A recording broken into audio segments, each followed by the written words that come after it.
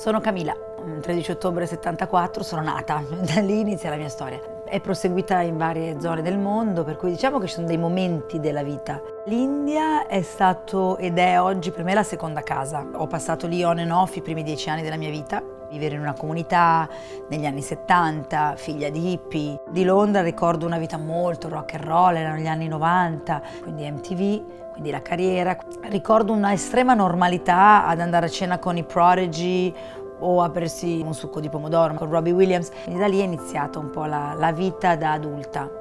Di New York ho un ricordo di grande scoperta, una grandissima apertura, un incontro di culture, un grandissimo senso di libertà. Questo è tra l'altro quello che ti dà anche la grande mela e continua a dartelo.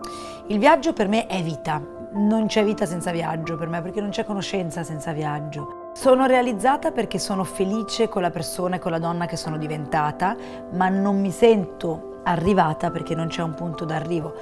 Io penso che le donne siano oltre quasi geneticamente e sono convinta che questo mondo senza gli uomini non sarebbe così affascinante, così curioso e così diverso. La donna deve essere oltre. Credo che sia una questione di requisiti per la sopravvivenza, perché non abbiamo e non possiamo permetterci il lusso di fermare l'evoluzione.